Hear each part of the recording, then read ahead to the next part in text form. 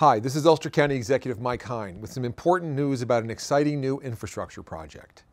If you travel between the town of Lloyd and the town of New Paltz on State Route 299, then you've probably noticed some major construction happening just off the side of the road.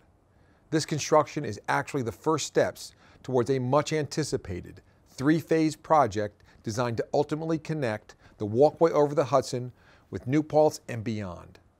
This transformational project will allow Ulster County residents and visitors alike to safely walk, jog, and bike along this incredibly beautiful area.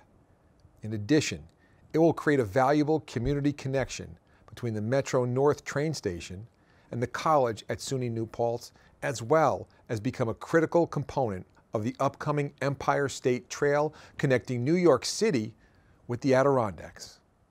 Now, phase one of this project extends the current trail from Tony Williams Park in the town of Lloyd to the intersection of Old New Paltz Road and State Route 299. It's already underway and it's expected to be completed by the end of this year.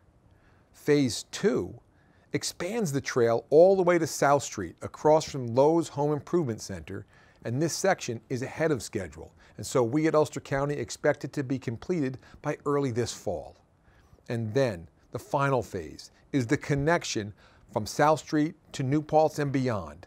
This section will involve upgrades to three major intersections and is expected to break ground later this year with a New York State Department of Transportation completion date set for sometime next summer.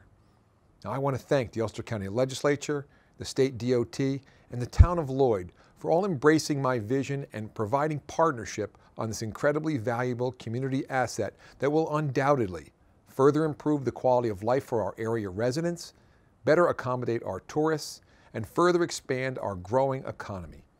Please look for future updates as we continue to make progress.